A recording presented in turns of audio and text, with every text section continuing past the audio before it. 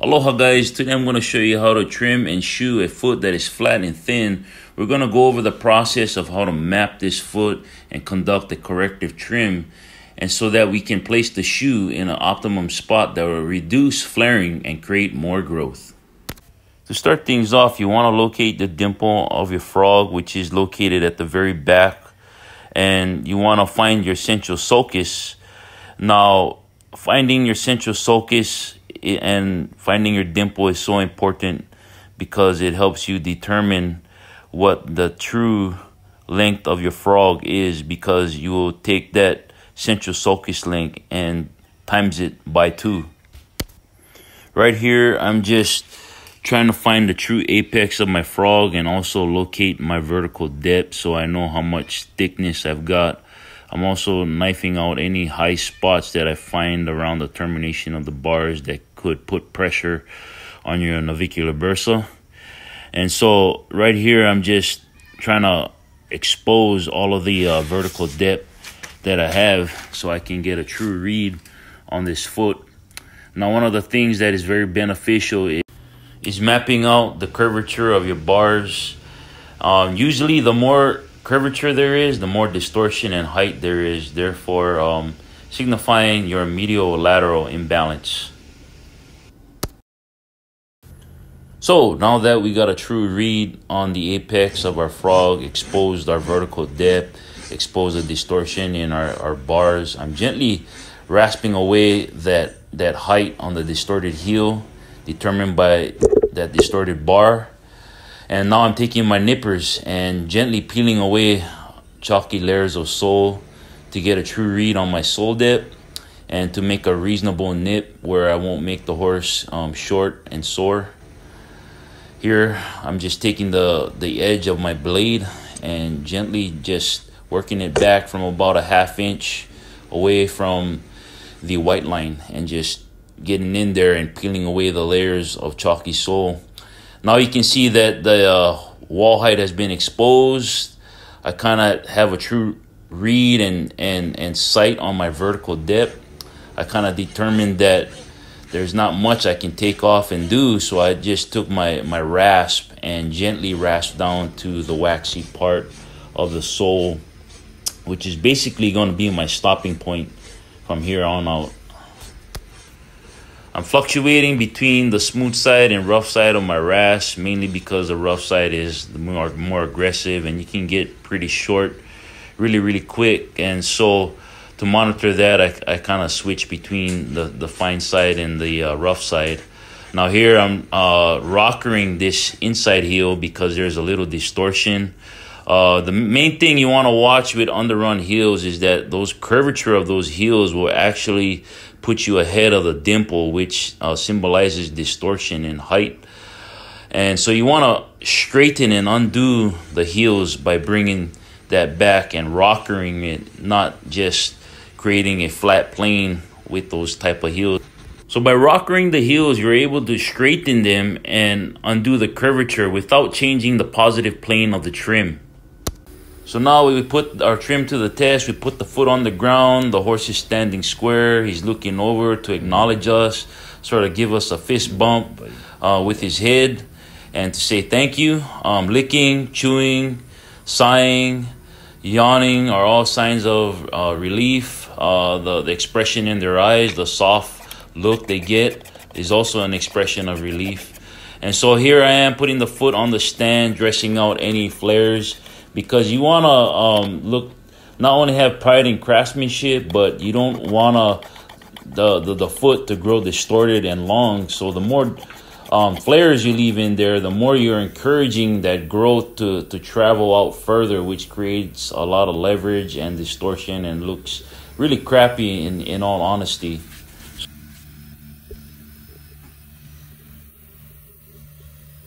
Hey, aloha. So I'm just going to make some uh, mo a modification to these keg shoes with clips. Uh, this horse lives out in the pasture. So um, I want to make sure these shoes hold.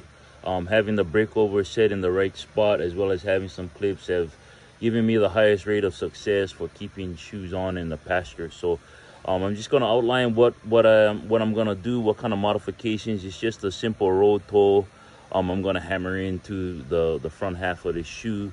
Um, so here we go. So here I am, the shoe all nice and hot and malleable. I'm just making consistent, repeated, controlled hammer blows on the toe end of my shoe, creating a nice roll so this horse can feel amazing. I'm also holding back with my tong hands and going back and forth, keeping that shoe flat. So um, I'm speeding it up because, uh, you know, it's very painful to watch me on the anvil uh, for uh, you know a couple of minutes. Uh, we we need to get going with this lesson. So I took a good mental picture of what the foot looks like, and I'm transferring that to the anvil and using my hammer and my tongs to sort of paint the picture, so to say, and and make a nice nice shape of the horse's foot. So this horse can feel amazing. So here we are. I'm gonna burn the shoe on.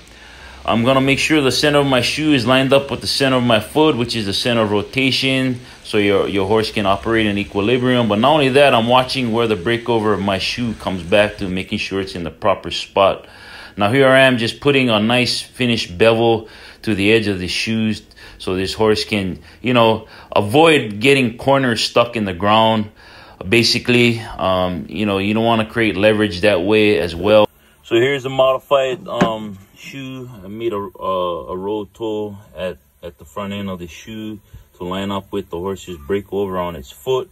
So right here is basically where you want the horse to break over right there. And so I'm gonna line that, that roll toe up.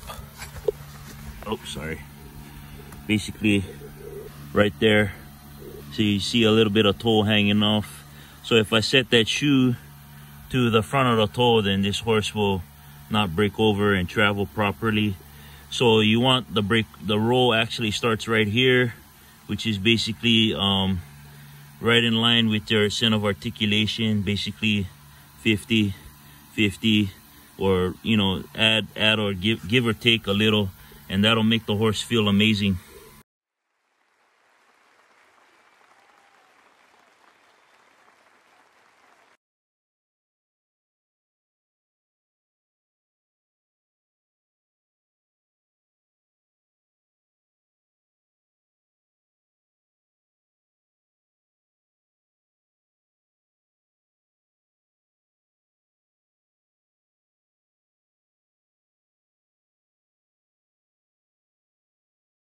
So this is the finished product right here. You can see um, this horse no longer has a long distorted toe. It still has somewhat low heels, but um, you know, this, this horse still looks amazing. And this is what shoeing around the center of rotation um, looks like. So you can see the heels right here are, are in a pretty good spot. You know, there's there's some overloading and some shearing here, but um, that that'll help um, that'll get better with time as we minimize leverage and height on this side of the foot. So earlier, the, this this side of the heel was um, more had more curvature, which meant more length. You could also see from the curvature in that bar as well.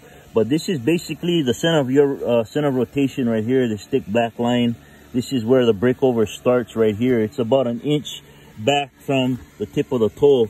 And, you know, if you continue to, to shoe the horse to the tip of the toe, um, the horse, you know, this particular foot, um, the horse will will not break over break over properly, and um, uh, feel amazing and stimulate more hoof growth. So you know, right here we we figured out our vertical depth by finding the true apex of our frog. So basically, the front half is basically in proportion to the to the caudal or back half right here, and that in and of itself that in and of itself, you know, shoeing around the center of rotation, getting your your ratios uh, pretty much proportionate. You want your, your, your front half to be equal to your, your, your caudal or your back half.